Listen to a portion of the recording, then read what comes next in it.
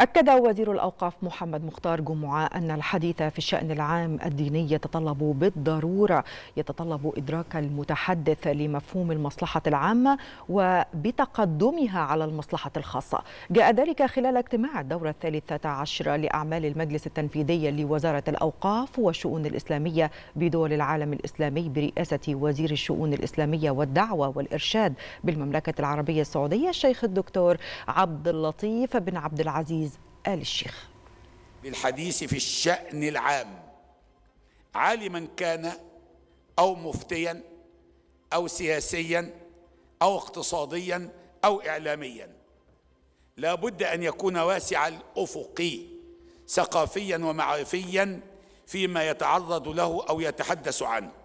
وأن أي إجراء فقهي أو إفتائي أو فكري أو دعوي أو إعلامي لابد أن يضع في اعتباره كل الملابسات المجتمعية والوطنية والإقليمية والدولية المتصلة بالأمر الذي يتحدث فيه أو عنه حتى لا تصدر بعض الآراء الفردية المتسرعة في الشأن العام دون دراسة وافية أو دون دراسة أصلا بما يصادم الواقع أو يتصادم معه مع القوانين أو يتصادم مع القوانين والمعاهدات والاتفاقيات والمواثيق الدولية مما قد يسبب ضررا بالغا لوطنه ودولته وربما يشوه صورة دينه وأمته.